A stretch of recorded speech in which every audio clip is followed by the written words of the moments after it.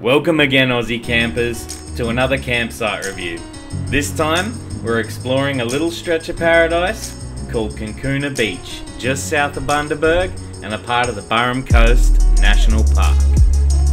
So sit back, crack open a can, or pour your favourite drink while we explore what it'll take to get you out to this stunning stretch of coastline.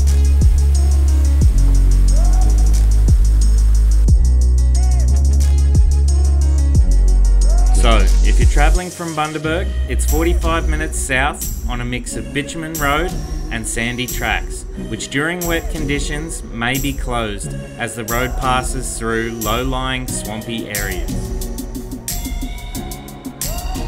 Camping permits are required to camp at Kinkuna. Prices are $6.75 per person per night or 27 per family per night. You can book online anytime on Queensland National Park's website, or you can acquire a permit over the counter at Woodgate Beach General Store.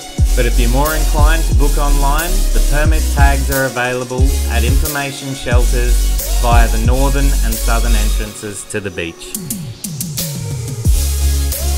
It's recommended that you access the campsites by high clearance four-wheel drive only, and it's not recommended to tow low clearance trailers or caravans. There are 40 unmarked sites along this beautiful stretch of beach.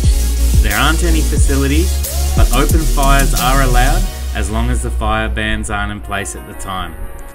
And you must bring your own milled timber to use as firewood as it is an offence to collect firewood in the national park. Fishing at Kinkuna is supposed to be not without its rewards, but I wouldn't take my word for it, I'd have more luck at catching a cold.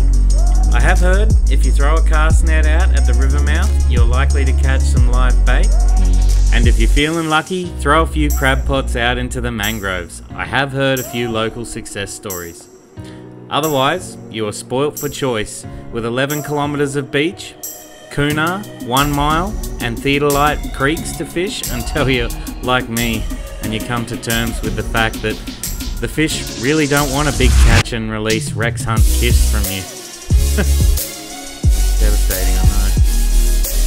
And depending on your network provider, you may get some reception at camp, but if you're booking online, I would recommend doing it before you get there.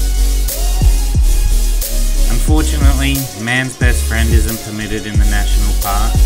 There are a few rules which I guess I should stipulate. Um, one thing I do like about Kinkuna though, it is fairly relaxed. To keep to defined vehicle tracks and walking trails, camp in designated areas to avoid damage to vegetation, and take your rubbish home with you. If you carry it in, carry it out. And remember guys, don't destroy what you came to enjoy. So guys, that just about wraps up another Aussie campsite review. If you'd like some more information or 360 footage of the campsites, please click the links above. And don't forget to like and subscribe so you don't miss out on the next Aussie campsite adventure. Cheers guys.